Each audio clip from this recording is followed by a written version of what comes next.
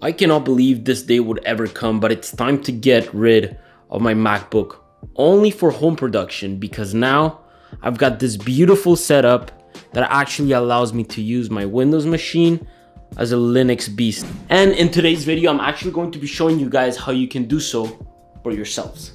This video is sponsored by Vidyard, an easy screen capture and video platform that allows you to record high quality videos up to one hour each. With Vidyard, you have the power to analyze the effectiveness of your videos and gives you the tools to easily get the most out of them. You can record and share unlimited videos for customer presentations, social media content, team updates, and more in just a few clicks. In my case, this free screen recorder makes it easy to communicate better with today's video. In today's video, I'm going to be guiding you on how you can transform your Windows environment into a Linux beast. I will be providing all the resources you guys need in the description down below in order to achieve this. And please note that I've already gone through this progress myself, which means I won't be reinstalling everything from scratch, but I am going to be showing you guys step by step how you can turn all of this into the perfect Linux machine for development. Alright, so the very first thing you guys should do is definitely run WinVer. So WinVer will allow you to check the version you currently have installed of Windows now, if we check the version right here, we have version 2004, and that's exactly the version we want to have. Now, if you guys don't have that version installed, you can go to Windows Update Settings, and you can click on Windows Update and check for updates and make sure you install that version. If that doesn't work, there is an alternative, which is what I actually used. You can download this right here. I will provide the link down below. You click update now and it'll download a Windows 10 upgrade file, run it, and you'll be good to go. Now, once you guys have actually done that, you have to type turn Windows features on or off. And you guys have to make sure that first your virtual machine platform is checked, the hypervisor platform is unchecked, and also you want to make sure that Windows subsystem for Linux is checked. Once all of this is good to go, we are going to go to the Microsoft Store and make sure you download Ubuntu, of course. If we type here search, Ubuntu, make sure you guys click on the 20.04 LTS.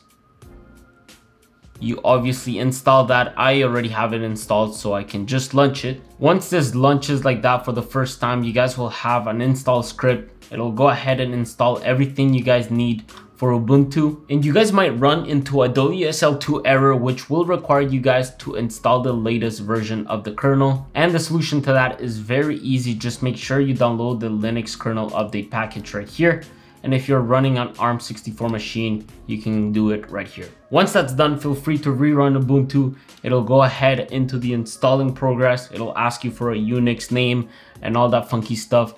And then it'll prompt you to the screen right here. Once this is all done, you guys want to download the new terminal that Windows created.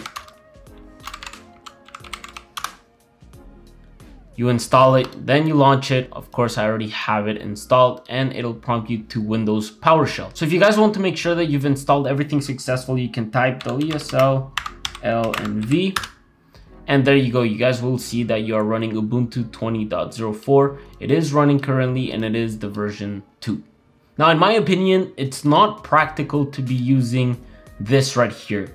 So I'm going to show you how you can use the terminal and load automatically into your Ubuntu directory, as well as run this Linux right here, this Ubuntu part of the machine. Now I reset it all for you guys so I can go ahead and show you. The very first thing you guys want to do is go into settings and in here you will see a default profile. Now this default profile right now is set to PowerShell and what you guys want to do is to copy and paste the Ubuntu profile. So you grab this here, copy, and you paste it right here. And then you save it, Control S, close this, close that, reopen this, and voila, you'll see you'll be running automatically your Linux terminal. Now, every time you're going to be starting the terminal, it's going to be really annoying because you are going to start in the Windows directory. You don't want that. You want to start in the Linux directory and this is very easy. So if you open Ubuntu, the original terminal, you are going to type this following command, rc. You'll open that with VS Code and you go all the way down and I'm just gonna copy paste this because I already had it before. And this here is what's going to make your terminal start automatically in the Linux directory. So make Ubuntu start here instead of the default Windows path. Just use this right here. You save this, close this, and we are going to close the terminal again. Once you open it again, boom, you guys will see that we are actually starting in all default Linux directory. So every time you open the terminal, you'll be prompted right here and you can go ahead and do whatever you want. As you guys can see, I only have one folder and that's pretty much where I put all my code. And one other cool thing I would like to show you guys is that you can have custom PS1 profiles. Now I did find a generator which is pretty freaking cool. If you go on ezprompt.net, you can go ahead and generate whatever you guys want. Click username. I don't know, have a color to it like red. And then have, I don't know, maybe shell version and have green background and just copy this whole thing, put in your bash profile and you'll be good to go. Now you guys might be wondering, okay, this is really cool and all, but I'm not going to be developing stuff in Nano or Vim. And no, I know you guys won't do that because I wouldn't do that. So what you guys can do is actually open VS Code and download a WSL remote extension. I do have it installed. If I open right here VS Code and go all the way to extensions, you guys will see that I have a WSL remote extension. I already installed it. Everything works properly. Once this is installed, you can click right here, open a remote window view, and you can click remote WSL new window, and it'll automatically load your WSL Ubuntu 20.04. If we go on Explorer and we open a folder, these are all the freaking files you have on Ubuntu. But as you guys know, this code right here, this is part of my Ubuntu thing here. You guys can see that is a directory I do have in my home directory. And if I click on it and I can just, I don't know, open it, you guys will see this is all the code I've been writing lately. So that is pretty freaking cool. You can start creating folders right here and obviously they will show right here once you do this. It will show all here if you start messing with it. One thing I'd like to point out guys is that every time you install extensions, it all depends where you are. So if you're in Windows, you'll install extensions for Windows. If you're not on Windows, it'll start installing extensions for Ubuntu. Right here, we're actually on our remote server, so we are on Ubuntu. Every time I'll install an extension, it'll install right here. So just keep that in mind. Also, you can go in your file, then you can go into settings, and you can change the font for your remote. If you guys look at here, I have also modified in remote.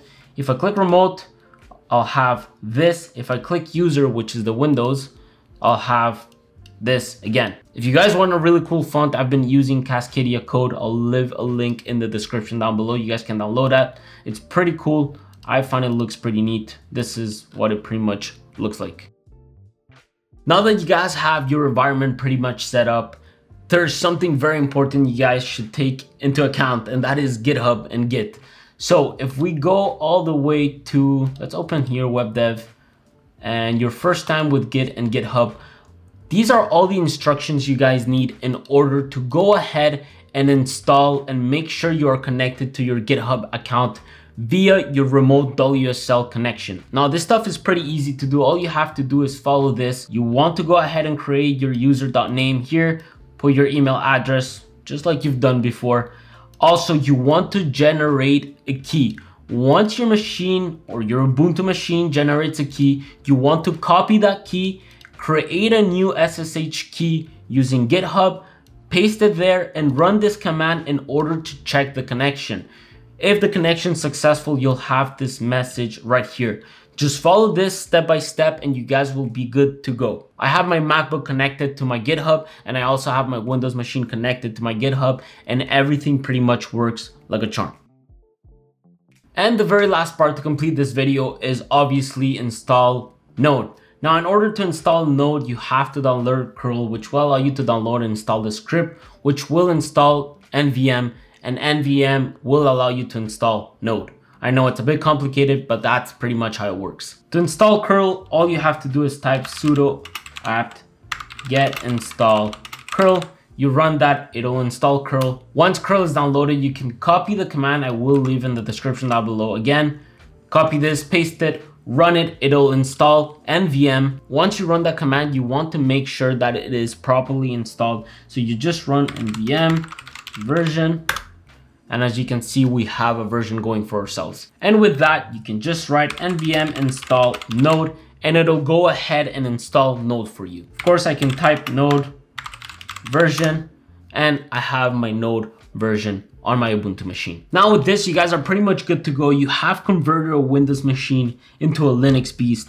It is pretty much the exact same thing as my Mac OS system. Everything pretty much works the same and you get the benefits of having Windows. If you guys are gamers or you guys are hardcore Adobe users like myself, this is the best of both worlds. Also, I'd like to point out that Python 3 does come installed with Linux. The only thing you guys have to do is to install pip3 in order to have your package manager. And that is pretty much it. You guys will be set to go with Python, maybe modify VS Code in order to run Python here and there. But that's it. If you guys have enjoyed this video, don't forget to give it a like, subscribe to the channel for more. And I really hope this video has helped you guys improve your development and your workflow. That being said, I'll see you guys in the next video. Take care.